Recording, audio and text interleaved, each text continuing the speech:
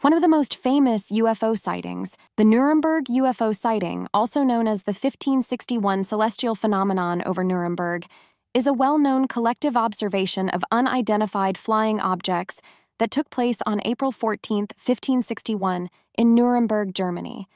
It was chronicled in a printed news article from April 1561, detailing a mass viewing of celestial events.